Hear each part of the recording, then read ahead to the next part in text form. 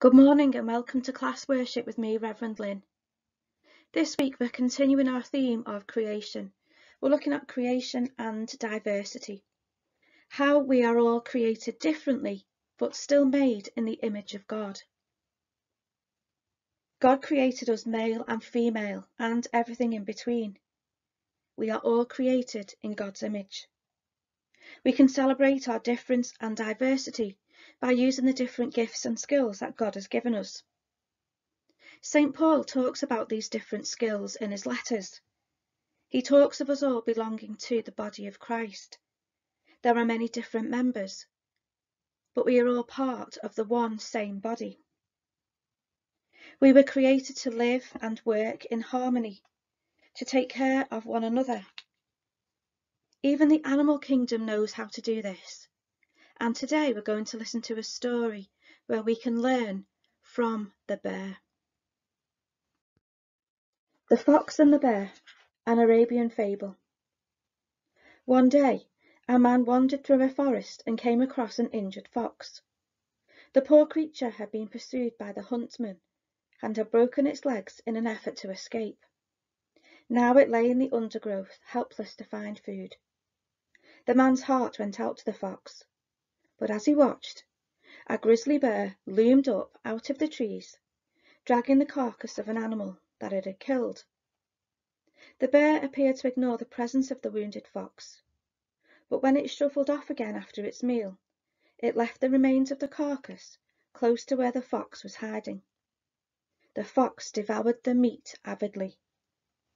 The next day, the man walked through the forest again, and again the bear left a tasty morsel behind for the hungry fox. And on the third day the same thing happened. The man pondered hard over what he had seen. If God cares so much for a wounded fox, he thought, how much more will he care for me? My faith is far too feeble. I must learn to trust God, just as the fox trusts. So the man went into a quiet corner of the forest and prayed. Loving Father, this injured fox has shown me what it means to trust you. Now I too commit myself entirely to your care.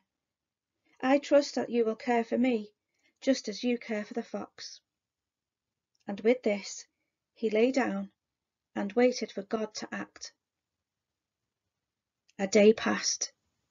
Nothing happened. The man was getting hungry. A second day passed and still nothing happened. The man was deeply puzzled. A third day passed, and the man was angry.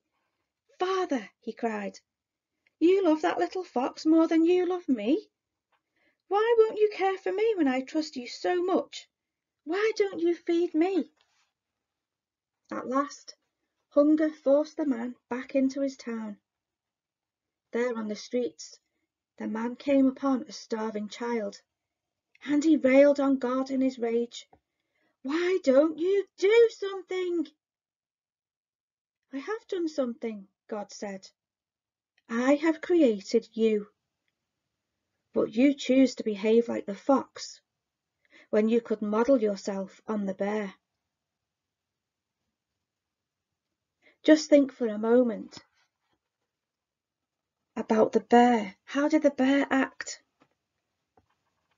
The bear acted kindly. He left behind food for the fox so the fox could recover, while the man just watched. As the man went back into the town, he saw a hungry child. He expected God to feed the child. But God gives us all the resources we need to share with one another so that we can love and take care of one another. God's voice in that story saying, I created you. Put yourself in that picture. What can you do to love and support your friends and family? What are the gifts that God has given you? Have a think for a moment before we sing a song. You can see on the screen a little person template and I've written my name in mine. At the top of the page it says what are your own skills and gifts, what makes you different to others. I thought really hard about the gifts and the things that I can do which make me different to everybody else. I can dance, but I can't sing very well. I listen carefully to others. I can cook. I'm a quiet person, but I'm confident. I'm calm and faithful, and I've got a vivid imagination. And I use all my skills to help others and look after the world. Your teacher may pause the video now and hand out some templates for you to fill in about your own skills and gifts.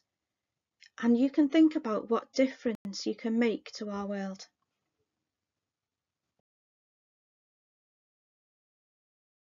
All God's creatures got a place in the choir. Some sing low and some sing higher. Some sing out loud on a telephone wire. Some just clap their hands, applause, or anything they got now. All God's creatures got a place in the choir. Some sing low and some sing higher. Some sing out loud on a telephone wire. Some just clap their hands, applause, or anything they got now.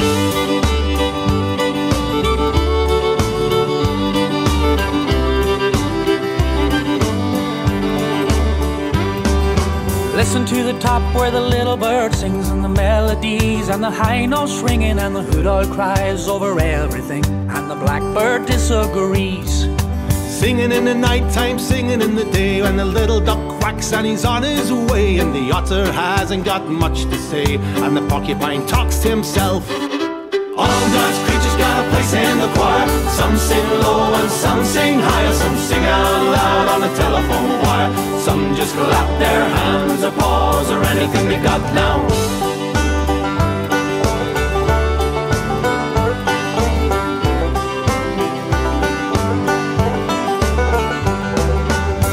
And the cats, they take up the middle where the honeybee hums and the cricket fiddles, the donkey brays and the pony neighs, the old grey badger sighs.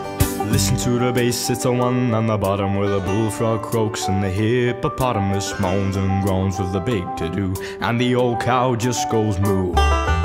All God's creatures got a place in the choir. Some sing low and some sing higher. Some sing out loud on a telephone wire. Some just clap their hands, applause, or anything they got now.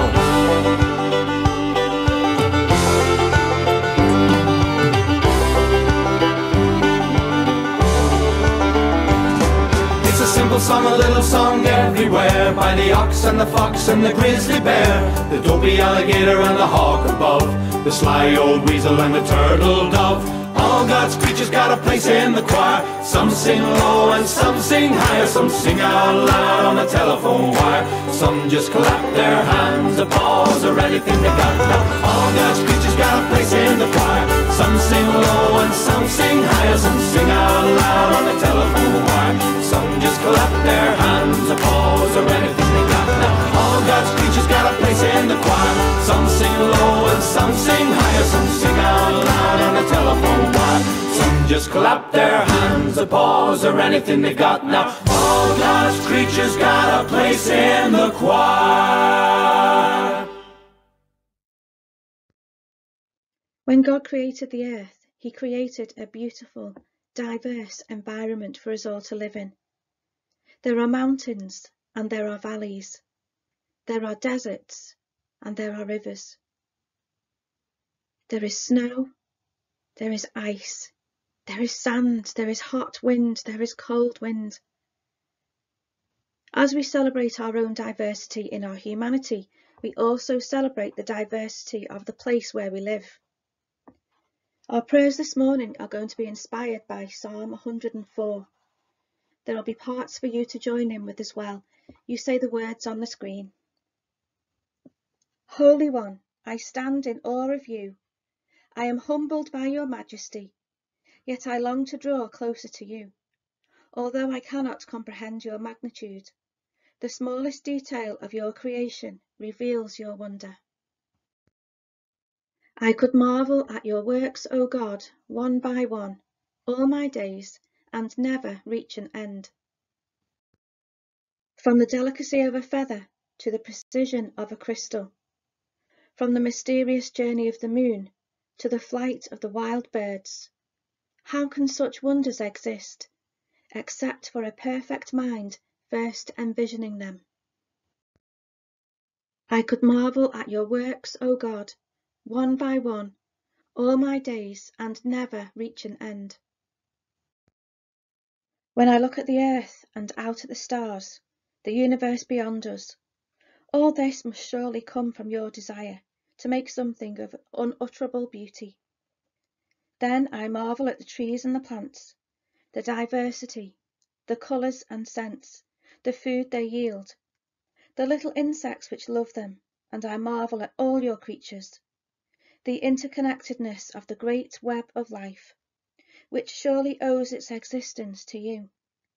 Even the mountains, the forests and plains, the great oceans, all these things reveal the splendour of their Creator. I could marvel at your works, O God, one by one, all my days, and never reach an end. You even made humanity, greatest of all, yet also most foolish and most able to do damage. This pristine earth that you have made, most capable, most intelligent and loving, but also most self-serving and unwilling to consider the consequences of our destructive acts. I could marvel at your works, O God, one by one, all my days, and never reach an end. Yes, if you made this universe, you made us too, and love us as you love the whole. So let us learn to humble ourselves before our Maker, to submit ourselves to wisdom's voice, aligning ourselves to the way you want humanity to live, that we may play our part in this your world, as lovers of peace and caretakers together of this living jewel. I could marvel at your works, O God, one by one, all my days, and never reach an end. Amen.